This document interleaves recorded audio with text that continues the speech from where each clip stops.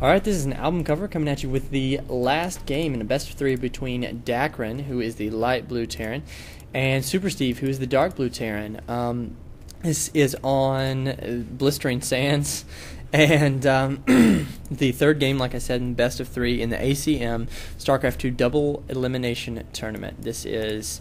I think it's for the semifinals, uh, but I'm not sure. And uh, last time Super Steve spawned as Dark Blue, he did win.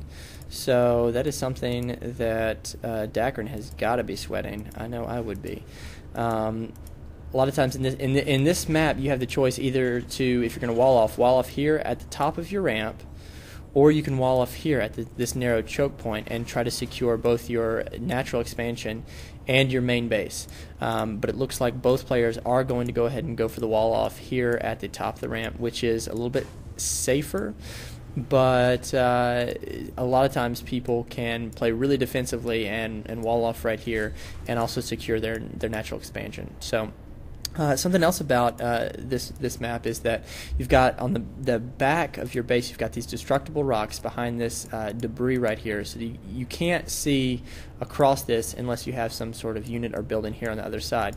So a lot of times with Terran, you'll see people build a supply depot back here just to watch these rocks and get vision over that, just to make sure they're not about to be attacked uh, in the rear of their base. So looks like uh, will scout just as uh, as Super Steve begins finishing that second supply depot.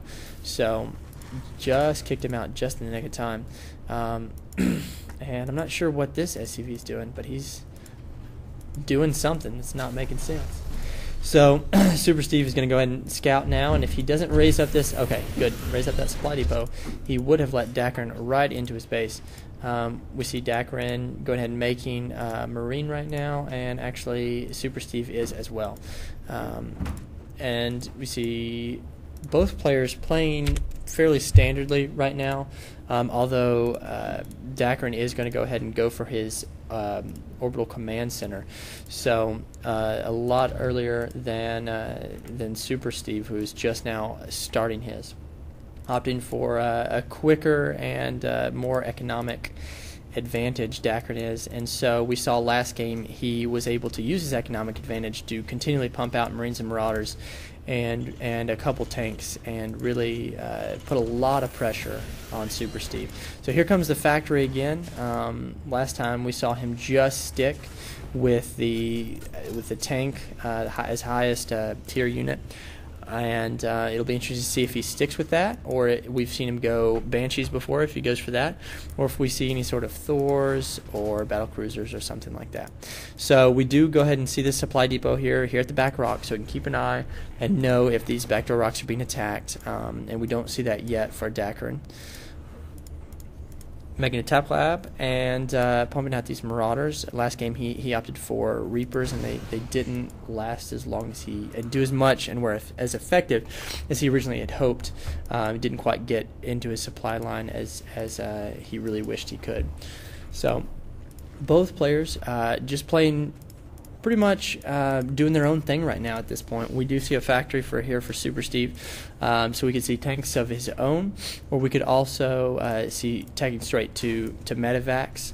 Um, although it's it's not um, not something that he really rushed out as far as medevacs or anything. Okay, we do see the supply depot here on the the, the back of Dakrin's base, so he's going to to be able to see anything and and not be able to be surprised by, by any sort of thing like that.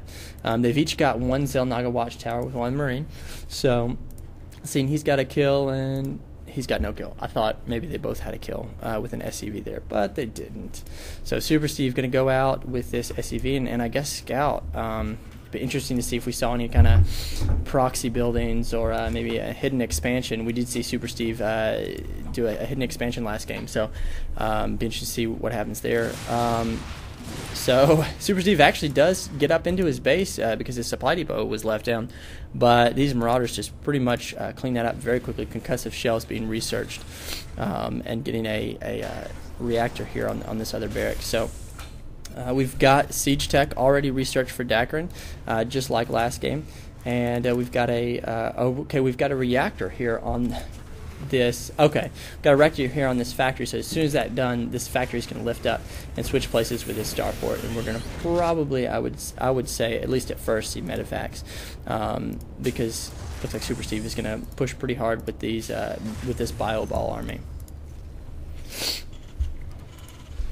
Both players are uh, fairly close in their uh, economy economy game. Um, 25 harvesters for um, uh, I'm sorry, uh, uh, doing a better job this game as, as well as last game. Um, and we see Dakrin going ahead and move up. He's going to siege his tank um, and use his Marauders to spot the high ground. And I'm not sure Super Steve is quite ready for this.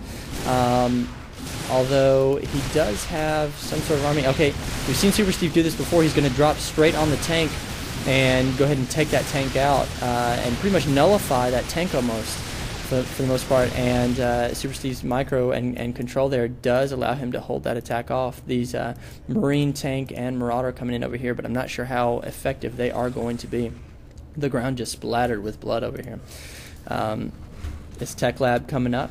So I would see, I would say a lot more uh, Marauders for Super Steve, and okay, Dakrin going to go ahead and use that time he, he gained with that push and that, that aggressiveness to go ahead and uh, secure his expansion. So I like that. Um, I haven't seen Super Steve uh, do that quite as much, and uh, so I, I feel like that Dakrin is using his advantages here right now because yeah, he's not really doing a whole lot of damage right now, but what he is doing is he's keeping Super Steve in his base. Um, and especially these three Marines are probably. Nope, I thought they were going to come back here to these rocks. Um, and this command center is going up. Needs to go ahead and mine with this SCV and get his economy into gear. Um, look at the production tab. We see Dakrin, uh, Dakrin, excuse me, uh, getting some upgrades and uh, some just more Marines, Marauders. Um, however, Super Steve is getting a couple uh, Vikings as well to probably guard these um, these medevacs. Although we are going to see, looks like a drop um, and you could really drop all the way back here and here. Just got this huge landing zone right here for drops. And uh, we, have seen Super Steve be very effective with these drops before. So um, it'll be interesting to see uh, how Dakrin reacts to this and if he's able to hold it off uh, because he, he certainly was not able to hold that off in the first game. Looks like Okay, going for the scan, gonna see what he's got right here, and his movie is his his army is actually moving out of position right now. Um, I don't know what that was, maybe a bunker or something, but these troops are dropping in here. But his, his part of his army is here, and part of it is completely out of position. Um, with these medevacs, though, Super Steve does have an advantage. Um, and these even these Vikings are landing and going to try to, help out and, and mop up this this force. One Viking taken out could have uh, raised him back up and, and avoided that loss. But he's going to push in. Super Steve's going to push in here real far. He needs to drop straight on this tank like he's been doing before, um, and and to try to kill some of these SCVs. But these SCVs are trying to get around this tank and be able to heal it as it goes. But you know the tank does fall, and these SCVs are trying to take out these Marauders as fast as they can. But the SCVs are falling, and just ridiculous. Look at the unit loss tab. Uh, Dakrin has has lost a, a lot more, uh, almost a thousand more than Super Steve, and Super Steve right now is really uh, in, in a commanding lead because right now all these SCVs are just sitting here. It doesn't matter if he killed them or not. If they're not mining, they're not being useful, and so he's losing all that time mining.